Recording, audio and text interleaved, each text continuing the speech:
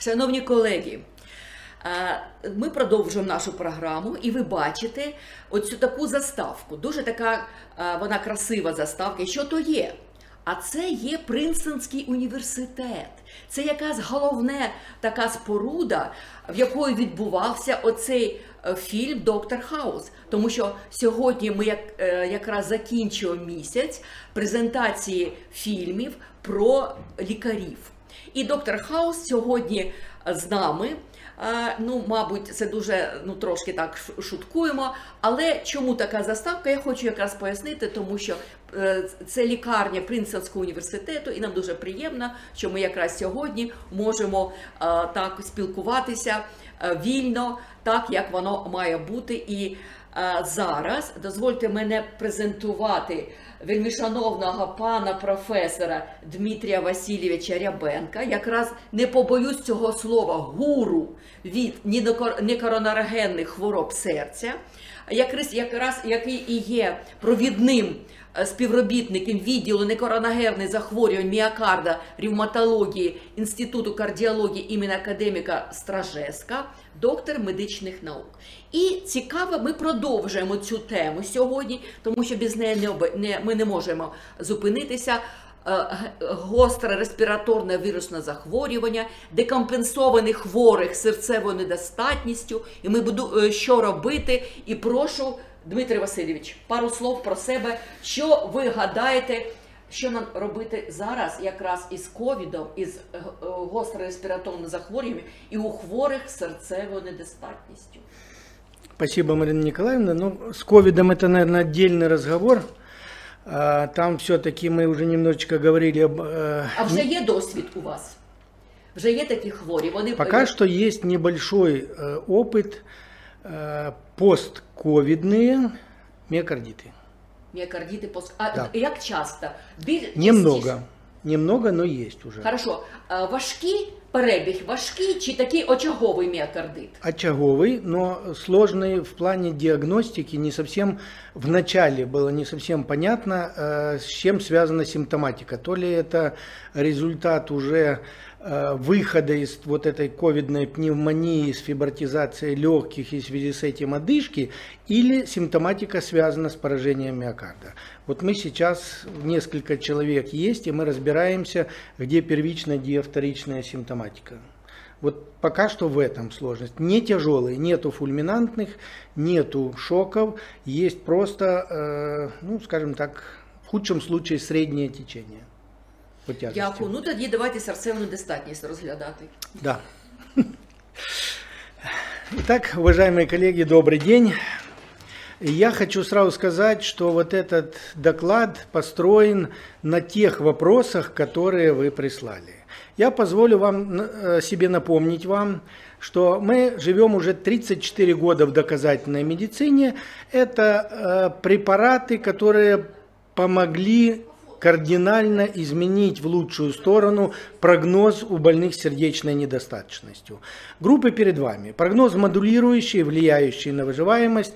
Э, Это группы ингибиторов РАС, бета-адреноблокаторы, э, блокаторы или антагонисты минералокортикоидных рецепторов альдостерона, э, комбинированный препарат АРНИ, в некоторой степени ивабрадин, и сейчас сюда врываются вот эти вот CGLTD-2.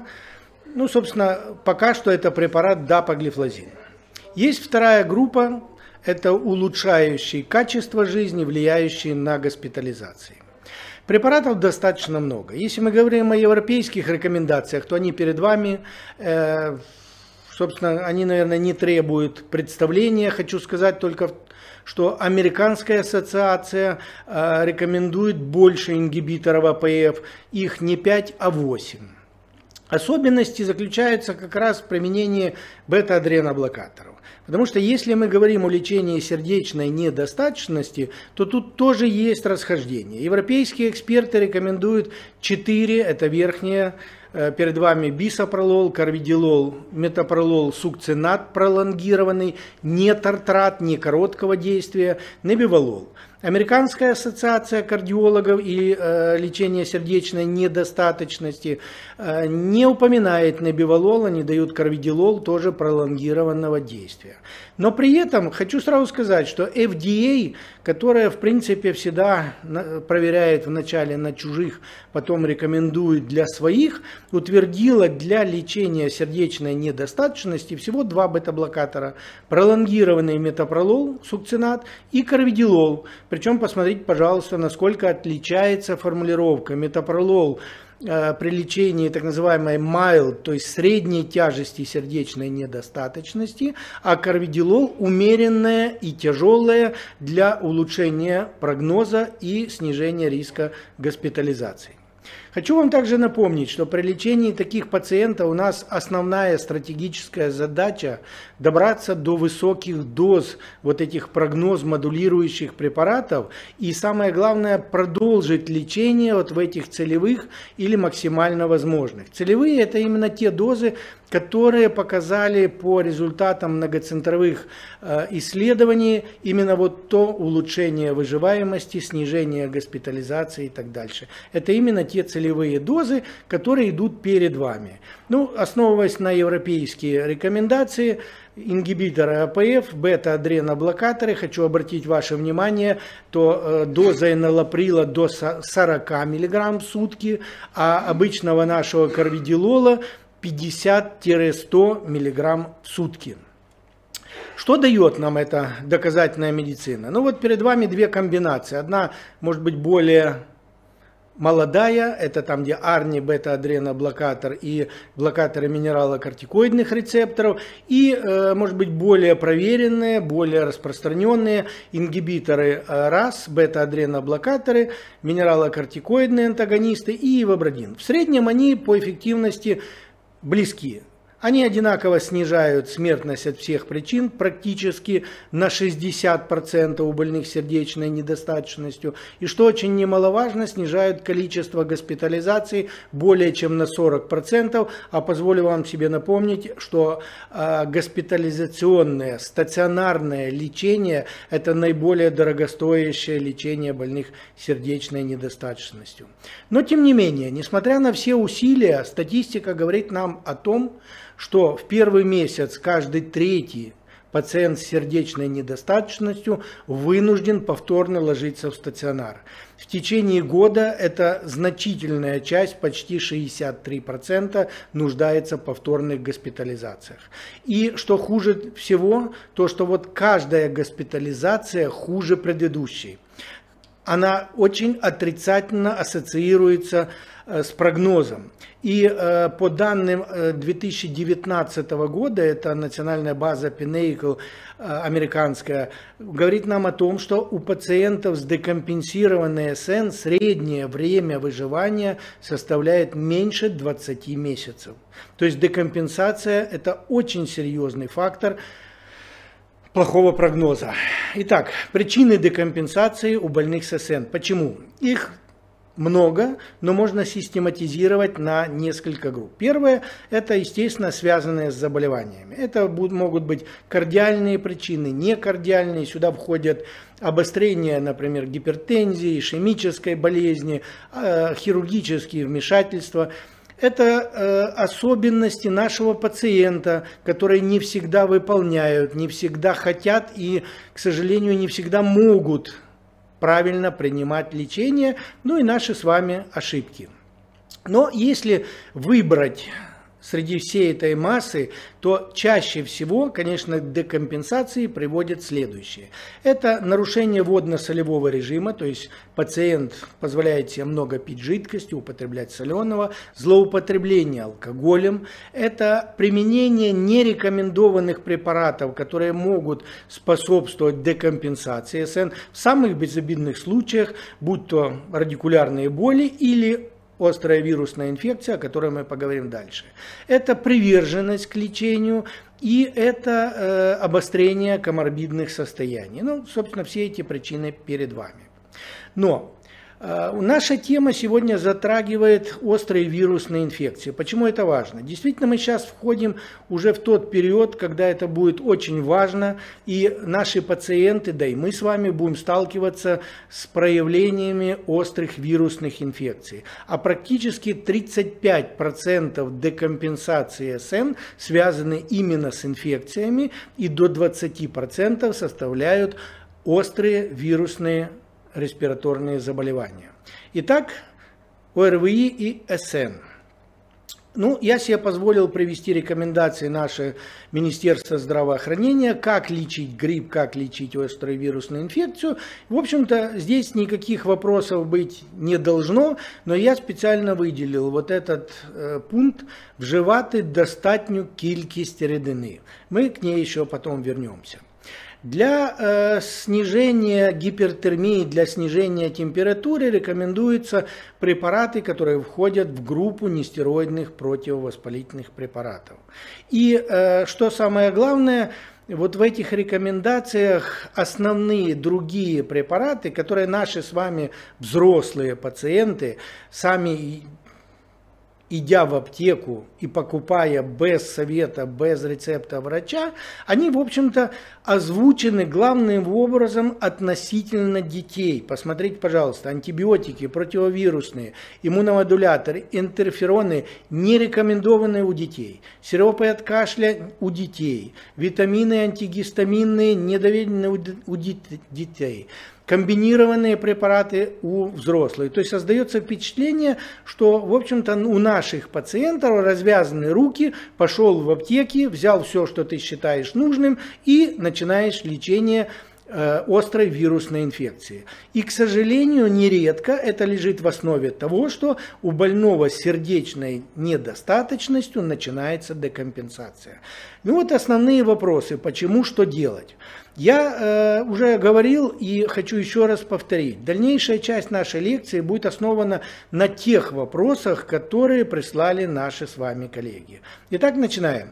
Нужна ли оральная э, гидратация у пациентов с СН э, в качестве дезинтоксикационной терапии? Давайте разобьем этот вопрос на два пункта. Первое. Если мы говорим о лечении ОРВИ, однозначно да.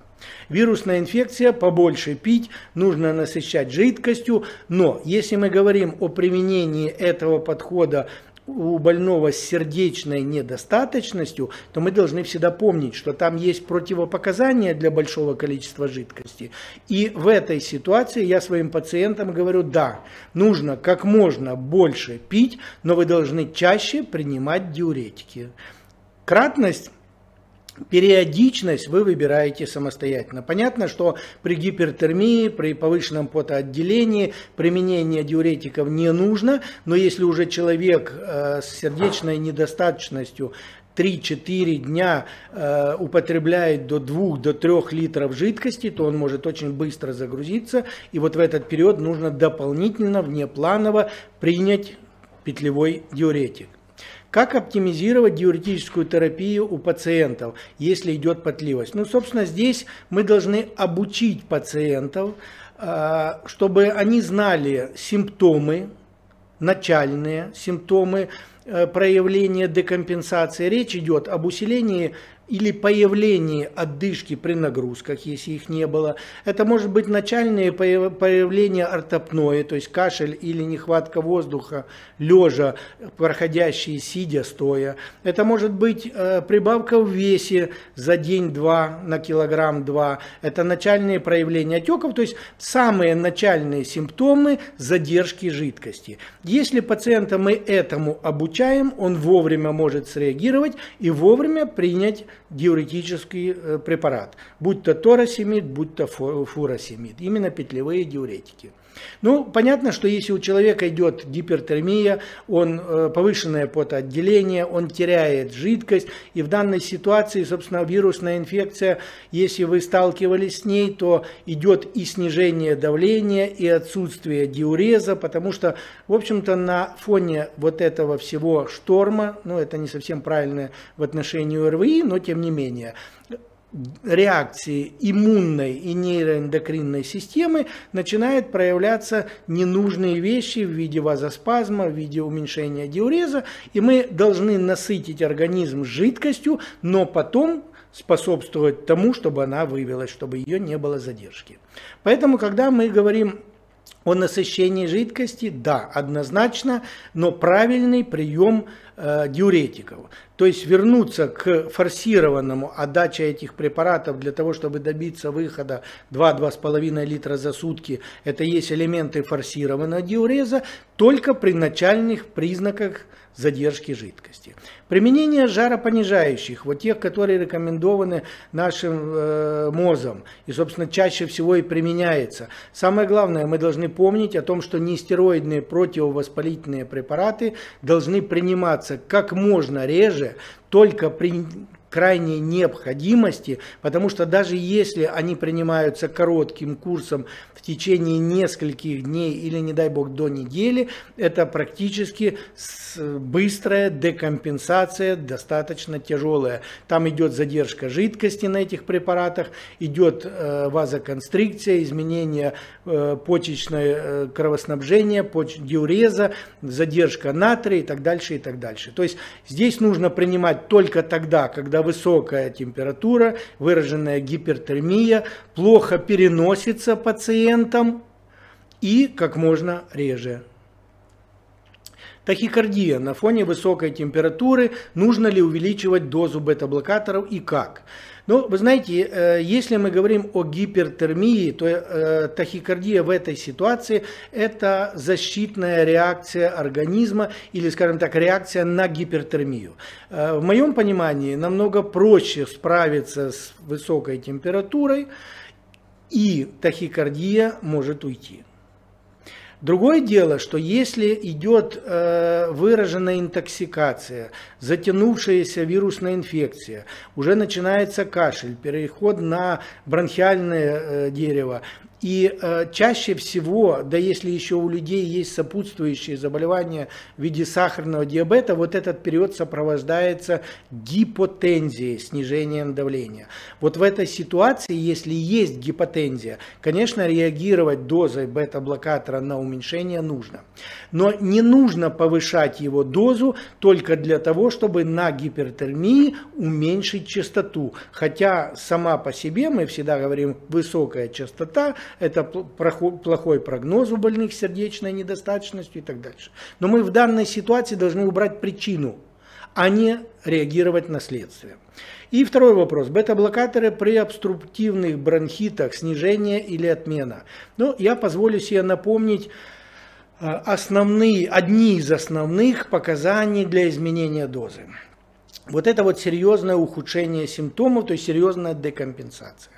Брадикардия. Но мы уже с вами говорили, что брадикардии у больных сердечной недостаточностью могут быть вызваны э, рядом причин, в том числе дополнительным приемом препаратов в виде амиодарона, а, антидепрессантов определенного вида. То есть в этой ситуации иногда проще убрать или уменьшить дозы этих препаратов, не меняя бета-адреноблокатор, и брадикардия со временем может уйти. И вот это вот третье, выраженная симптомная гипотензия, то, о чем мы уже говорили. Вот это повод для изменения дозы. А если речь идет о том, что есть бронхиальная астма или клинически манифестированный бронхообструктивный синдром, то это есть противопоказание вообще противопоказание для применения бета-адреноблокаторов. И в этой ситуации, конечно, нужно его убрать. Не уменьшить дозу, а убрать, если идет выраженная бронхообструкция. Сам по себе хозл в анамнезе без клинического обострения, напоминаю вам, не является противопоказанием для назначения, применения и продолжения бета-адреноблокаторов. Поэтому тогда, когда речь идет о гипертермии, коррекция дозы бета-блокаторов, только при выраженной симптомной гипотензии и если идет клинически выраженная бронхообструкция, однозначно отмена бета-адреноблокатора. Ну, возникает вопрос, а что в этой ситуации делать? Ведь частота никуда может не деться. Мы чуть позже об этом поговорим. кашель у кардиологических больных, отменять ли ингибиторы АПФ. Вы знаете, если э, было до острой респираторной вирусной инфекции реакция на применение ингибиторов АПФ, то есть это классовая, ну, побочный эффект их, кашель сухой, и он усугубился на фоне вирусной инфекции, то, наверное, стоит немножечко как-то корректировать дозу ингибитора АПФ. Если до этого была абсолютно нормальная э, переносимость и кашель не связан с этим классом препаратов, то мое мнение, что все-таки проще э, обеспечить эвакуацию э, мокроты, э, применить какие-то другие препараты, которые облегчат ОРВИ и э, не менять дозы ингибитора ОПФ. Только если уже есть очень выраженный кашель с элементами, может быть, той же бронхообструкции, и он мешает пациенту, не дает нормально жить, может быть, в этой ситуации стоит немножко снизить. Тахикардия на прием бронхолитиков как быть?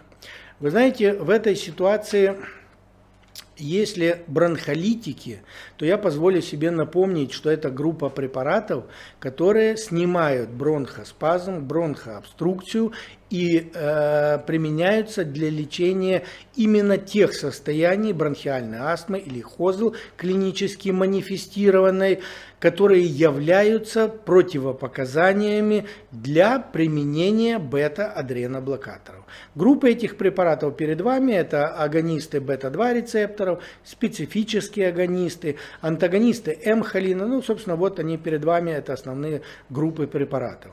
Э, как быть в этой ситуации? В этой ситуации однозначно бета-адреноблокаторы должны быть сняты. А, но если мы говорим о том, что нам нужно все-таки как-то обуздать тахикардию, то у нас есть с вами еще один препарат, но это только при синусовом ритме. Я позволю себе сослаться на рекомендации американских и европейских экспертов по поводу его бродина, что он может быть применен у больных сердечной недостаточностью, а, у которых либо сохраняется частота выше 70, несмотря на лечение целевыми дозами, в том числе и бета-адреноблокаторов, сохраняются симптомы, и что самое главное для нас, есть противопоказания или непереносимость к бета-адреноблокаторам. Собственно, вот эти же показания были зафиксированы FDA еще в 2015 году, и состояние бронхообструкции, которое требует применения бронхолитиков, симпатомиметиков, это как раз та ситуация, где мы не можем дать бета-адреноблокатор, и мы вынуждены как-то реагировать на частоту. Поэтому в этой ситуации не забываем о том, что у больных с синусовым ритмом есть ивабрадин, который мы в принципе можем э, применять снижения частоты. И тогда, когда мы говорим о лечении наших пациентов, я хочу вам привести вот это изречение, которое уже много лет, даже может быть столетия звучит, а, что мы должны лечить не болезнь, а лечить нашего пациента со всеми особенностями его э, психологического состояния, со всеми его факторами риска, со всеми сопутствующими заболеваниями. Спасибо за внимание.